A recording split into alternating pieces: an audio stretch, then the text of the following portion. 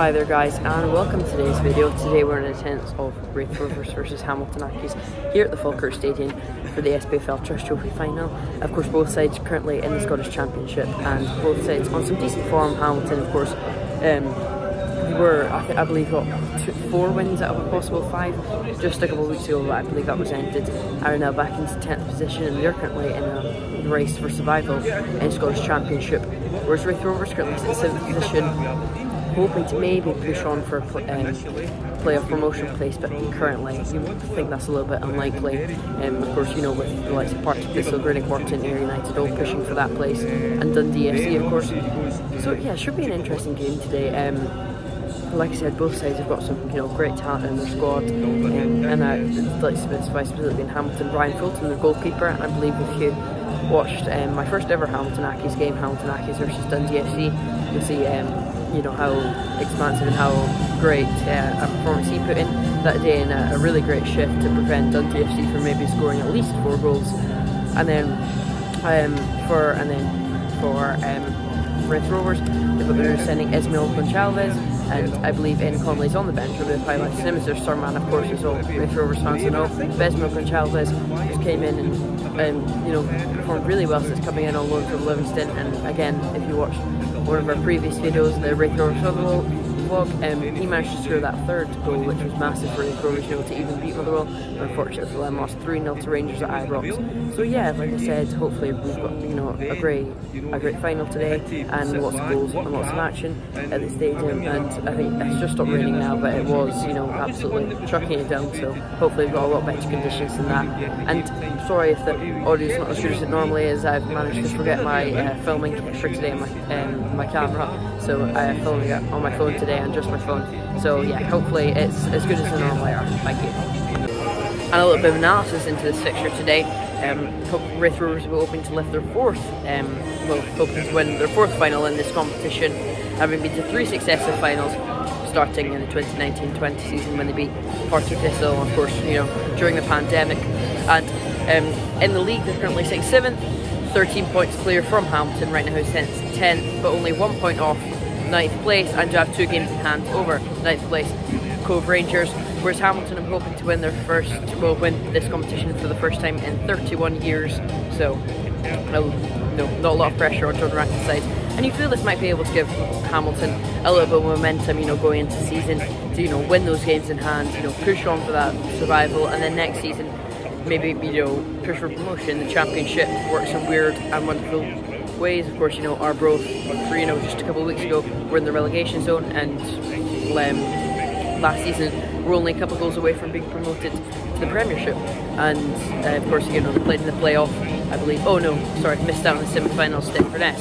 So yeah, big, um, a big, big game for both sides. More so, I feel for Hamilton Accies, you know, maybe this is the you know point of their season where they can push on, similar to the Viaplay Cup final, where of course he spoke to Sam Norton, like he said, um, you know this might be a point for Rangers to push on, and you feel the sides that are maybe performing the, the, the best in the league or in other competitions, you know, a competition like this is you know just perfect for them to start getting some momentum and push on in their season. So hopefully, like I said before, we see a lot of action and a lot of goals.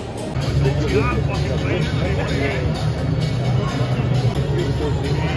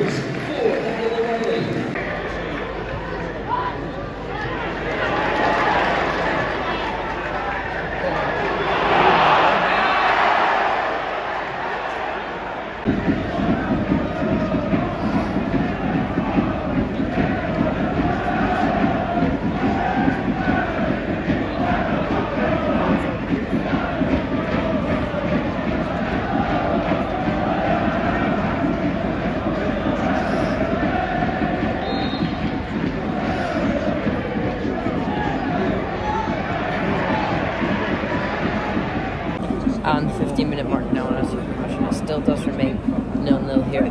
No early action from either side today. Uh, in my opinion, it's been a really, really flat first 15 minutes. If even you got early on signs, it, it sort of makes you think both sides, you know, they're not really playing to win here. You feel like they're playing not to lose. So, it's not really been the greatest to start for either side. I suppose you know any team in any game really wants to get an early goal, but we'll have to see. Like I said, really first flat 15 minutes, no real action and no real clinical chance of you thought, oh, you know, that should be put away or anything like that. So hopefully see a much more um, exciting, well, um, 30 minutes rest and half, and then 45 after that.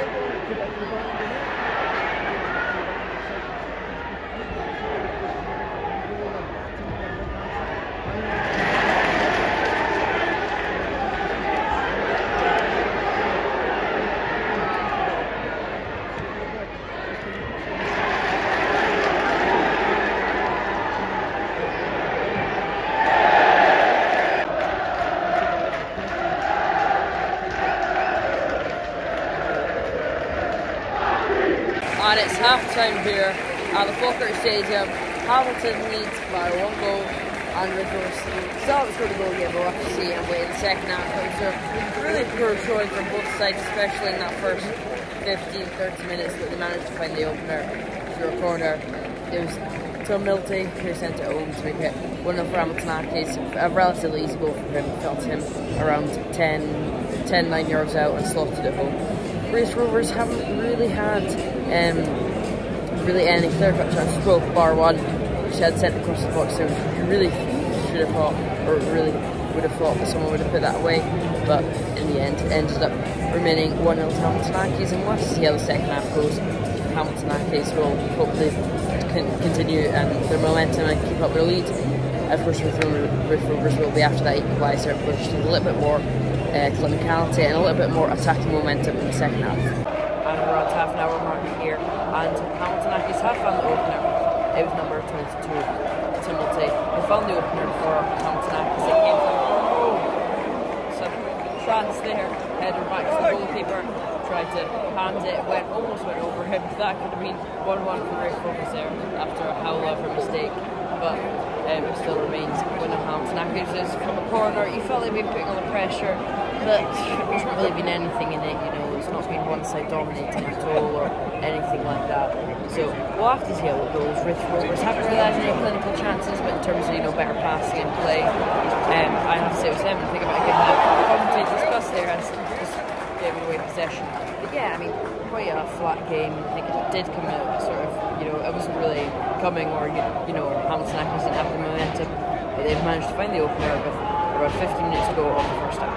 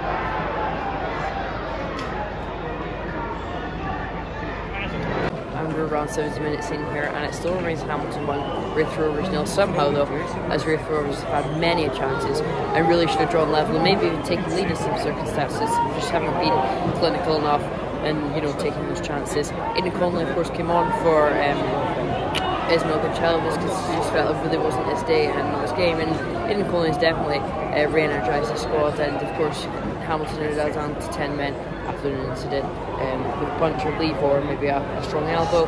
So as it stands it's still Hamilton 1, Raith Rovers